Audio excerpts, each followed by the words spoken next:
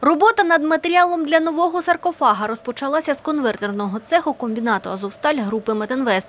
Спочатку виплавляли сляби. Металурги стали до розробки спеціальної сталі у 2012 році, згадує Сергій Фролов.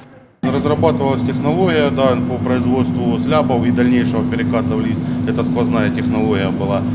А, По этой технологии под контролем а, нашим непосредственно производился сляб, ну, то есть выплавка, разливка и передавали слябы в толстолистовой цех. У товстолистовому цеху роботу продовжили. Металурги мали отримати унікальні механічні властивості продукції, розповідає оператор стану Олександр. Передается подкат в чистовую клеть, начинается прокат с определенными температурными режимами для достижения свойств механических, пластических. Там нагрели, здесь прокатали, там обработали, порезали. То есть достаточно большое количество людей было задействовано в этом процессе. Сплав для саркофага створили на заводах групи «Метинвест» в Україні та Італії. З Азовсталі поставили близько двох тисяч тонн листів.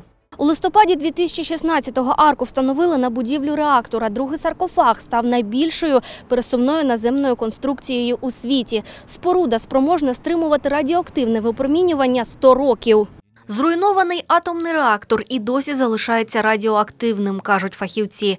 Ще щонайменше 40 років він буде законсервований. Валентина Чурікова, Віктор Зубенко. Інформаційна програма «Дзеркало».